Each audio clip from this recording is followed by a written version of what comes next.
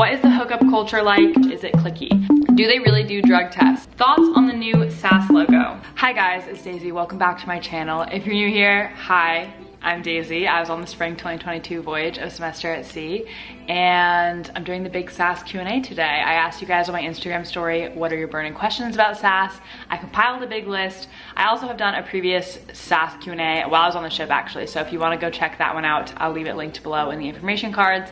And if I don't answer a question in this Q&A or the other Q&A, be sure to comment it down below. I will get back to it as soon as I can. And if you have a question, I'm sure someone else has the same question. So that's my little spiel, let's get into the video. So I've divided these questions up into a few different categories. We have specific to my voyage, ship life, academics, port life, and general. Let's just dive right in. Um, so the first question we're gonna go with is how is readjusting to normal life? So as you guys know, SAS is a really life-changing experience and you are on such a high for the entire four months that you're on the voyage. I mean, it does have its highs and lows, but overall, it's an incredible experience. Once you get home though, you definitely experience a post-study abroad low. You tank. You get home, you're tired, you're overwhelmed, it's really difficult to transition back into your normal life, your normal routine, going back to work, being with your family all the time, being away from your friends that turned into family over the course of the last four months. So there are definitely a lot of mixed emotions that I and my fellow voyagers went through coming home after April 20th. And that actually brings us to the sponsor of today's video. If you just got home from study abroad and you're also feeling a little bit anxious, overwhelmed, depressed, BetterHelp is here to help you. All you do is fill out a questionnaire that BetterHelp provides and they will match you with a therapist that's right for you within 48 hours. You're able to talk to your therapist in a secure online format and at your convenience. You can exchange phone messages, text messages, do video calls. All of it is secure and safe and private to you. And so since it's an online platform, they might be able to offer you help that you wouldn't be able to get in your local area. And if you're chatting with a therapist and it's not working out, you can request a new one free of charge. I have been talking to a therapist through BetterHelp and she has been providing me with so many different resources, little journal prompts, and we've been talking a lot about the ways ways of coping with the overwhelming feelings that I've been having coming back from study abroad. If you want to join the over 3 million people that have taken charge of their mental health and sign up for BetterHelp today, I will give you the link in my description, betterhelp.com slash daisyblake72, and you can get 10% off your first month. That's betterhelp.com slash daisyblake72 for 10% off your first month. Okay, the only other question that I've gotten about my voyage specifically it's pretty obvious, I feel like, for mine. Did you feel restricted by the pandemic and the COVID restrictions? My voyage was definitely a unique one. Um, we did sail during the COVID-19 pandemic in spring of 2022, so it was kind of um, dying down as far as restrictions in country went, but on the ship, we were required to wear masks everywhere. We had to take tests, and if you were tested positive, you had to quarantine. In some cases, you had to get off the ship and quarantine in country. Luckily, I was never quarantined, um, except for the five-day lockdown that we had, which I did vlog if you wanna go check that out. And then also my roommate did get a false positive test result, so we were in quarantine for about a day when we were in Cyprus. I think that, honestly, it brought us all closer together. We kind of bonded over the fact that our voyage was not going to be what we signed up for. However many years ago we signed up or months ago that we signed up. I think the biggest way it affected us is our voyage itinerary because obviously it was a lot different than the normal SAS itinerary. But then again, what is a normal voyage? SAS is such a unique experience for every voyage that like I didn't feel inhibited by the restrictions. I feel like I still got the full SAS experience. Okay, let's talk about ship life. What is and isn't worth the money on the ship? Okay, so on the ship, you can purchase a lot of different things. There's the SAS merch store, there's the spa, there's the fancy dining, there's the snack bar. Um, worth the money, personally, I really liked using the laundry service. You could get your laundry done. You just put it all in a bag outside your cabin. I believe it's $7 a load, but I preferred that much to doing laundry in my sink or doing my laundry with a scrubber simply because I didn't have the time for that. I don't know, I think that was worth it. And then the snack bar is worth it in moderation. I know some people racked up a lot of money uh, being charged charge of the snack bar.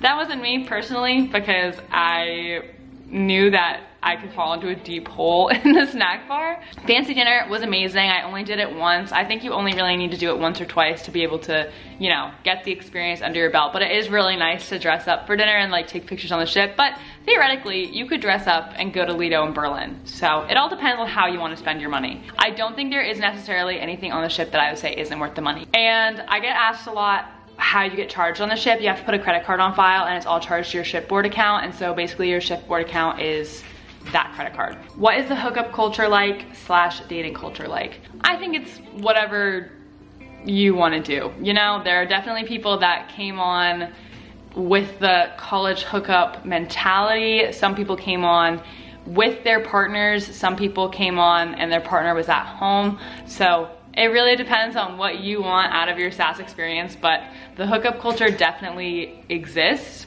It's just if you want to partake or not. Is there much drama on the ship slash is it cliquey?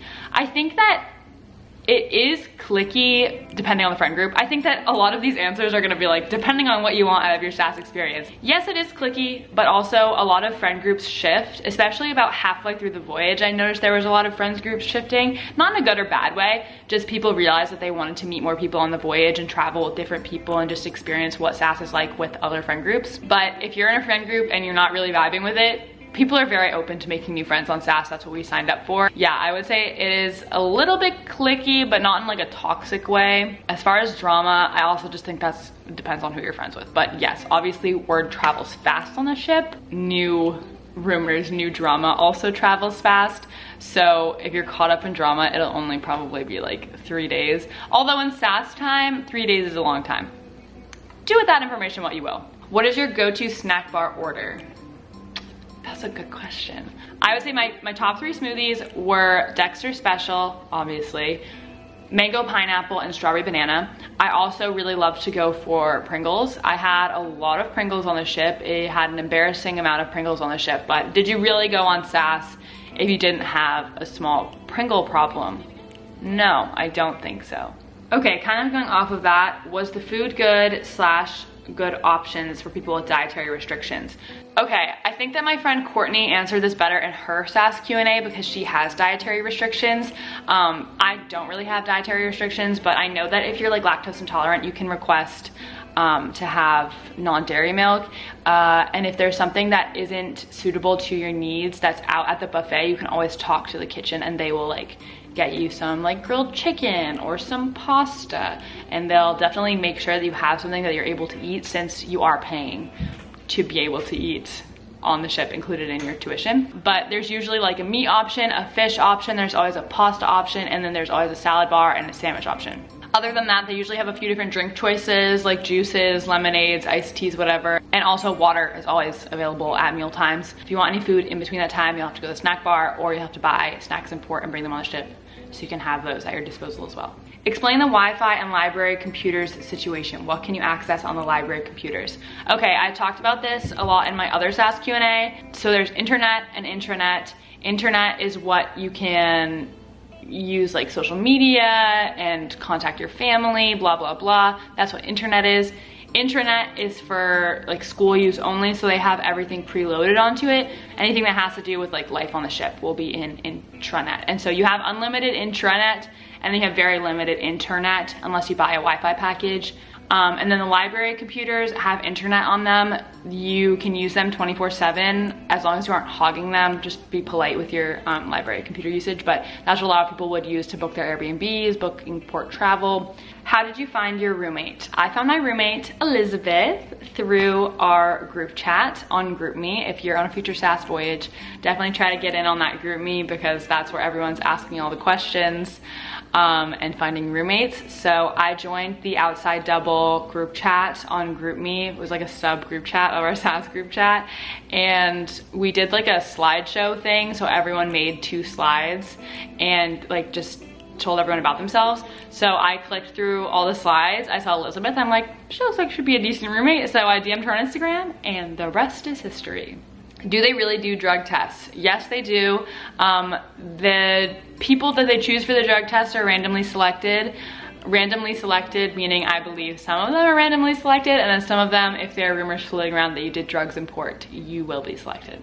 Okay, let's talk academics, schoolwork, professors. Were the professors interactive with the students? Absolutely, a lot. Well, in my case anyway, I took two communications classes, one tourism class and global studies on the ship, and all of my professors were amazing. I think that it really depends on the classes you're on. The professors I had, I really loved them. They're some of my favorite professors I've ever had. And yes, they were very, very interactive, but also I feel like communications classes are very discussion based. So I think it does depend on the class. But outside of class too, you'll be eating lunch, eating dinner at the same time as them. So you will be interacting them outside of class and you will see them in port too, which is also really fun. So they definitely aren't there just to, you know, be in their own little bubble. They want the SAS experience too. Was it difficult to edit while having classes. So if you didn't know, I was a student vlogger for my voyage. Me and my friend Emma Romano were the two student vloggers. Obviously, if you have spent five minutes on my channel, you'll see that I vlogged every single port. I vlogged so many stretches at sea. So I essentially was a full-time student and I was full-time like doing all of my vlog stuff at the same time. So it was pretty difficult to juggle at some points and I did fall behind as you saw. I posted like my last SAS videos I think in June. Um, I was very, very on top of it for the beginning of the voyage. The only thing that really got me was the Bay of Biscay when we were going through France. It was just really rough seas and I was like so sick the entire time. And then after that, I really wanted to like live in the moment and be really present for our last few stretches at sea because that's when we had Sea Olympics. Everything was wrapping up. Like I was like, I'm not gonna see these people for so long. So I wanna make sure that I'm spending as much time with them as possible. Um, but yeah, it was difficult to juggle, but I made a good schedule for myself and I prioritized all my schoolwork. So I did a lot of my assignments like way, way ahead of time. So I had a lot of time to edit my videos. And I also have been doing YouTube for a couple, I'm not a couple years, like eight years now. So I have my editing like down to a science. I have a pretty good system going. How was the class workload? I think this depends on your classes. My classes were all comm classes, so a lot of it was discussion based, but we did have, I think two big papers and a mid, I don't think we had a midterm actually, but we did have final exam. Um, but then, it, uh, yeah, it just depends on what classes you're in. I've already taken all of my other classes for my major, so these were the last classes um, before I graduated, so I was already familiar with a lot of the concepts, so it wasn't that difficult for me. Okay, let's talk about life in port. Favorite and least favorite port. Oh, it's so hard to choose. I think that my favorite, well, I loved Greece, France, Scotland, but I've already been to all three of those before SAS, so I'm not gonna count them in this. Mm, I think I'm gonna go with Malta. I feel like it was just really good vibes. I did an ATV tour, I did horseback riding, I spent a lot of time with my friends. You can go watch the vlog, it was a good one. Least favorite, when I say least favorite, I don't mean I didn't like my experience there, but I would say my least favorite was probably Cyprus, just because we were there in like such a weird time of year where everything was closed. The port was in kind of a weird location, so we had to take taxis or ride shares to go anywhere. And it was just like terrible weather the whole time we were there. But I'd love to return to Cyprus in the summer or springtime when their tourist season's in full swing because I would love to check out Paphos when it's actually like a little beachy area, Ayia Napa when it's like a nice little beachy area um, because it was pretty cold and rainy the entire time we were there. But I do have some core memories from that port, I must say. Can picky eaters function in port? I think yes. I think that you need to be more open to trying new things um, when you're on SAS, like food included, because I feel like food is such an important part of culture and at least try something new in every country. That is what I would say. I was a picky eater before I started traveling and now I will eat like anything and everything. What was your spending budget versus what you spent? Um, I think that I saved around five to 7,000 for import travel before SAS and I spent pretty much all of it and probably more than that. So my advice for spending in port is make a budget. If you really wanna stick to that budget, stick to that budget. If your friends are doing things that are too expensive, maybe find a different friend group to travel with. And there are definitely different people with different budgets on board. Like there are people that will spend thousands of dollars on an Airbnb or like experiences. And then some people will be completely budget traveling, staying on a ship, staying in hostels. So it really depends on what kind of experience you want um, as far as how much money you'll spend. Best ways to pay in port, cash versus credit. I used my credit card for pretty much everything. There were only a few instances where I needed cash, but then again, we had most of our ports in Europe, so they, I feel like, were more accessible as far as having cash versus credit options. And I feel like a lot of places actually preferred credit card to cash. How much can you expect to spend in port? Again, this depends on your travel style, depends who you're traveling with. Don't feel like you need to spend more to fit in. There are definitely people on the voyage that are like, daddy's money, have mommy and daddy's credit card ready to swipe it at any expense.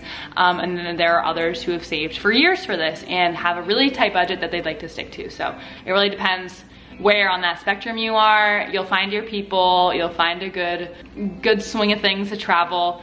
I would say try to spend the least amount possible in the first half of the voyage just so you know you have enough money to survive the last half of the voyage because some people really went crazy in the first few ports. What bag did you use in port? I used my Baboon to the Moon Go bag. I have a video on my channel called How to Pack for Study Abroad where I showed that bag and like the specs of it. So if you wanna look at that, check it out. I loved it. It was um, like a duffel bag and it also converts to like backpack straps.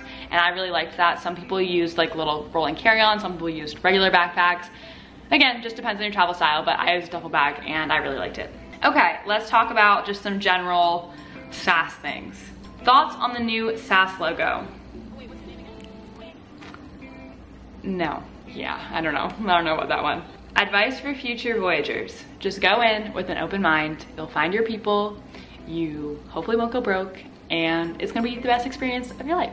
What suitcases did you bring and can they fit under your bed? A lot of people swear by the LL Bean rolling duffels. I personally brought two hard shell suitcases because I had recently bought them and I really didn't want to spend the money on new suitcases. I would recommend bringing suitcases that nest if you're gonna do hard shell. I fit one of them under my bed. You can see my cabin tour, I fit one of them under my bed, like opened, and then I slid it under that way. And then the other one we kept in our bathroom. And then Liz's suitcases, I believe, nested and they were in our closet because there's like a space in the closet for a suitcase. Sorry, there's like something on my nose. Okay. What is the most stressful part and how can I prepare to lessen the blow? Okay, for my voyage, it was definitely COVID. Hopefully no other voyages have to deal with a pandemic, but it, that definitely was the most stressful part. The most stressful part is getting your first shipboard account balance because it's either gonna be really low or really high, I feel like. And to lessen that blow, just keep track of how you're spending on the ship because it is very, very easy just to scan your ID card at the snack bar every night. Like go and buy some SAS merch at the merch store. Just keep track of your spending. Then you know you won't go broke. Was it hard being in such a fast-paced environment for so long? Absolutely yes. Um, but luckily, uh, I was able to just like go to my cabin if I needed some alone time. Sorry, my camera keeps dying. Um, yeah, you're in such a fast-paced environment, people will understand if you need a break.